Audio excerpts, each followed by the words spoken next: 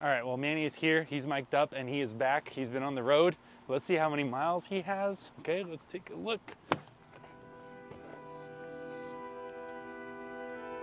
Oh, 28,303.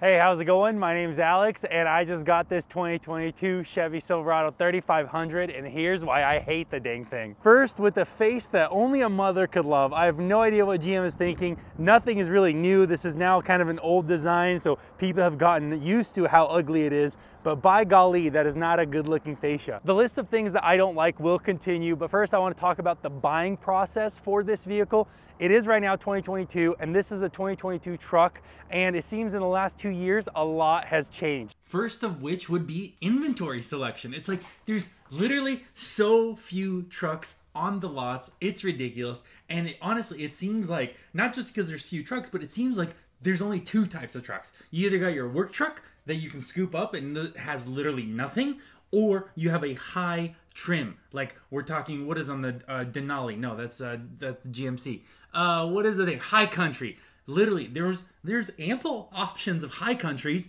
that are 90 grand, but there are no, you know, like middle of the road trucks. I, I don't understand. Second of which would be the pricing. Okay. Uh, I guess it's now in 2022 a good deal when you pay MSRP. It's like the world we live in today. Good grief, right? I mean, come on. MSRP, and that is what I got this truck for. I did get an MSRP. This is my driver, Manny. He's going to be hitting the road on it, and so we're going to get his opinion on his first 10,000 miles or so here at the end of the video because he's out there running it hard right now. So stay tuned for that. But in the meantime, we didn't obviously buy a cabin chassis that was prepped and ready to go. We had to do a bunch of stuff to it. First, shout out to Wes Haney Chevrolet because they advertise right on their website, no dealer fees, no dealer markups, so that's great. And this, it was an LT with convenience package, so I think a decent screen and whatnot. So really pumped that I was able to find this truck. Now, how I could describe a Chevy that's like a mid-tier is basically like uh, half-ass everything. I don't want to say it, but literally this is how I could describe the Chevy is half-ass everything. So you got fog lights. These are nice. These are bright. These are LED. And so they're really good. But you got half of half of attempt for headlights. You got halogen bulbs. They're not very bright. Terrible, actually, as a matter of fact. And I really wish they just included the nicer trim lights. And not like, I'm not gonna get the nicer trim truck as a work truck. That's ridiculous. But I, I do feel like at this point in 2022, like all vehicles should have nice headlights so people can see. I don't, I still, it still blows my mind that like halogen is still the standard basically. All right, moving on inside of the truck, let's talk about another half-hearted approach. There's automatic windows, obviously that's nothing new. And the problem is on a mid-trim, they put automatic down on your driver's side, which obviously makes sense. They put automatic up on the driver's side, which totally makes sense. The problem is they then put automatic down on the passenger side, but they did not put automatic up. How on earth does that make sense? You are literally making it inconvenient for your customers to own your trucks. This is ridiculous. Another problem is this seat. It's really difficult to remove, way worse than the Ram or the Ford. And why I say that is because the bottom has to be taken out separately of the top. The top is bolted to the back wall, right? So you gotta uh, remove your bottom seat with your five bolts on the, on the bottom, that's normal. But then you have to, oh no, my light is blinking. But then you have to remove the four 10 mil bolts at the bottom of the backrest, and then you have to remove your um, headrest, and you got to remove the plastic things inside the headrest, and only then you can lift it up. So it's much more challenging to remove the back seat in this truck. This is literally the worst drivetrain out of the big three, right? It has the terrible 10-speed transmission that we know fails at about 100,000 miles. It has the 6.6 Duramax, which is a joker of an engine. It has less torque, it has less pull rating, has less tow rating than a other truck. Honestly, if you're considering a Chevy, it's because you're a brand loyalist that doesn't actually understand how bad of a vehicle you're buying. So if you're gonna buy a Chevy for hotshot, like that's what you are a brand loyalist not paying attention to other to the, how much better the competition is. Yeah leave your comments below. This is to be fun. Okay so i'm editing this video and i just want to clarify a couple of things because i feel like i'm being a little bit harsh but anyways the point remains the same is on a middle trim truck, right? Not the high, not the super top of the line trucks or not the bare bones work trucks, but on a middle trim truck on any brand, you will have to make some trade-offs. You, there will be some corners cut to fit into that price point, right? And the frustrating part by far is you don't get to choose what those trade-offs are. You don't get to choose what corners you want the manufacturer to cut. That's the most frustrating part. And for example, like there's heated seats, I have fabric seats. I don't need heated on fabric. That makes no sense. So I would throw out the heated seats, but give me the automatic up and down on all my windows. Like, come on. Okay, second thing is like, there's these dials on the temperature settings. Do you think I care whether it says 69, 70, or 80? It doesn't matter. If I want it hot, I turn it to red. If I want it cold, I turn it to blue. That simple. But I would rather take a, I would much rather take a power outlet to plug in my computer because I do a lot of work on my computer versus these dials that tell me the exact, versus the digital screens that turn, tell me exactly what the temperature is. That temperature has no relevance to, like, it's not real life. You know, it's not like just because you set it to 73, it actually blows 73. It doesn't. Okay. So it's, it's one of those things where it's like, I wish I could make the trade-offs and sometimes manufacturers make for sure in their middle trim the incorrect trade-offs. Like all I want is power on board and good headlights with fabric seats. Can't be that hard, right? I did take those really terrible chrome wheel covers off, but I also debadged it. You can see there's no 3500. About this infotainment though, it's actually not that bad. I'm like genuinely impressed with it. The Apple CarPlay is phenomenal. Um, and like one feature that I can express to you for sure is awesome is when you unplug the Apple CarPlay, right? So here's your wire. When you unplug this from your phone, it doesn't switch to the other audio setting and just blast your music like on the RAM. On here, it actually just stops doing nothing. It doesn't play anything. So like it's like I'm actually kind of impressed with the screen. And you could say that yes, the screen is small relative to other screens. Yes, but if you get the big screen on the on the RAMs, yeah, maybe compared to that one, it is small. However, this screen is very very similar to size as the other medium-sized screen. And uh, if it wasn't for the Fords, it's actually, um, if it wasn't for the Ford redesign, this screen is very similar to the Fords as well. So all things considered, not a terrible screen, um, but really uh, the Apple CarPlay just works phenomenal. I thought I would hate it much more than I currently do, but it's all dependent on how well this drivetrain will hold up because if this drivetrain is a disaster, like that's it, bro. You know, like this is gonna be really interesting to see what happens. What is this? Look, it's damaged. You see the crooked lines? Yeah, no, that's what I said. That was the turkey. Okay, so you hit a turkey? Yeah. Okay. He committed suicide season. okay, Manny, what's this damage? What is this?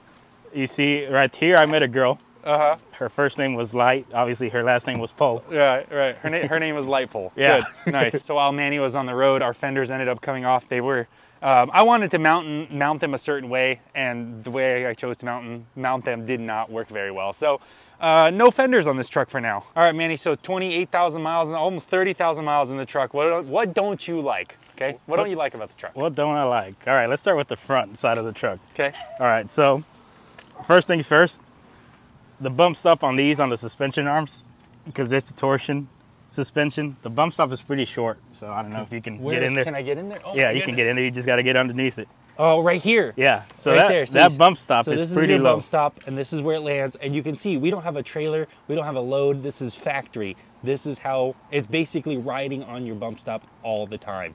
Um, that is uh, not good, I think. yeah, so when you hit a bump, it feels pretty bad. All right, now Manny doesn't like the mirrors, but you know, I feel like mirrors are kind of almost personal preference. You know, some people like the Dodge mirrors, some people like the Ford mirrors, so whatever, mirrors, whatever, that's a problem. But talk to me about these issues you had shifting. Something was going on with the cruise control. What was that? So whenever it's got a load, whenever it's like fully loaded uh -huh. on the trailer, I noticed when it was climbing hills, uh, specifically going up a hill. Once it got halfway into the hill, it will go to sixth gear.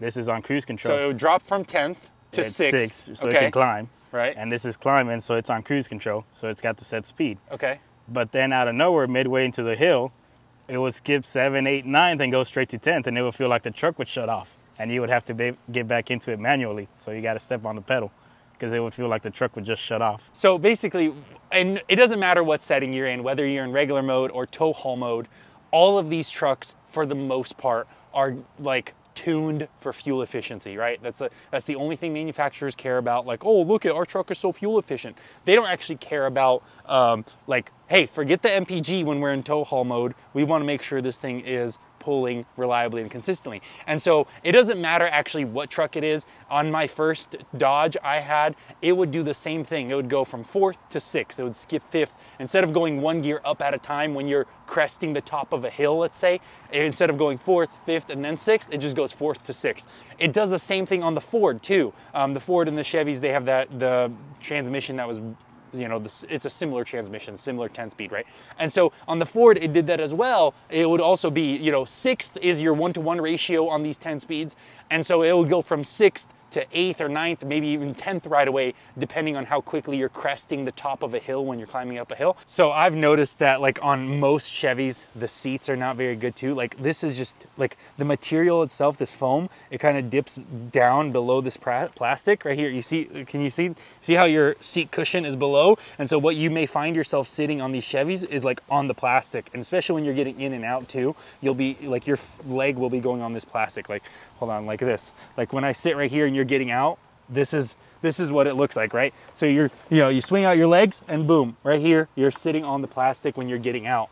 And so I don't know if they did that to prevent like premature wear on the plastic, but, or premature wear on the seat cushion, you know, cause that's how you protect it. But this, uh, I've noticed most Chevys, like the seats are not very comfortable.